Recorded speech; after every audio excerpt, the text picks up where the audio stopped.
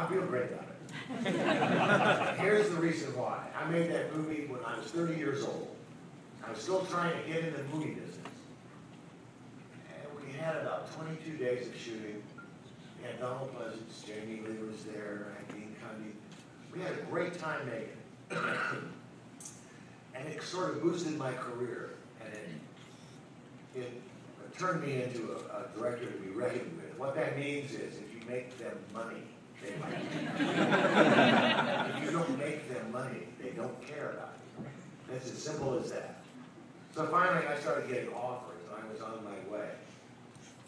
But ever since then, they decided to make sequels to Halloween, which I never thought was a good idea. Because I never thought, and this is how stupid I am, I never thought there was any story left. I thought the story ended at the very end, and that was it. But no, no, no, no. However, I will tell you one thing. I, I'm not going to talk about what I think of the sequels and the remakes. That's up to you to decide.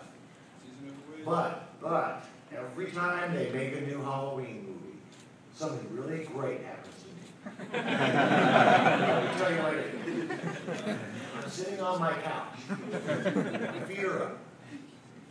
I read in the, in the trades they're going to make a new Halloween. I extend my hand and check.